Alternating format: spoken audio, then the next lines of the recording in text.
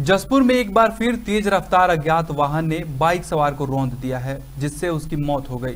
बता दें कि जसपुर कोतवाली अंतर्गत गाँव ध्यान नगर निवासी 35 वर्षीय मनोज कुमार शाम करीब साढ़े छह बजे बाइक से जसपुर की ओर से अपने घर आ रहा था। तभी अज्ञात वाहन ने उसकी बाइक को टक्कर मार दी, जिसके चलते वह गंभीर रूप से घायल हो गया। हादसे के बाद राहगीरों द्वारा घायल युवक को सामुदायिक स्वास्थ्य केंद्र ले जाया गया, जहाँ डॉक्टर ने उसे मृत घोषित कर दिया। वहीं युवक की मौत से परिजनों का रो रो कर बुरा हाल है, जशपुर से प्रदीप श्रीवास्तव की रिपोर्ट।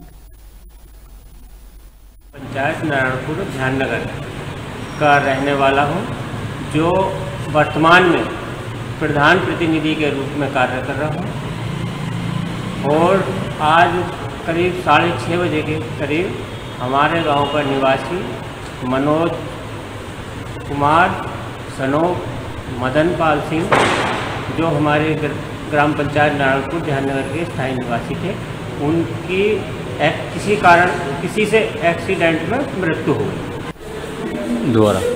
इनका नाम मनोज कुमार है और ये सर ध्याननगर के रहने में रहने वाले हैं। और हम वहाँ से बढ़ा कर अस्पताल लेकर आए तो इन्हें डॉक्टर मुझसे धर दिया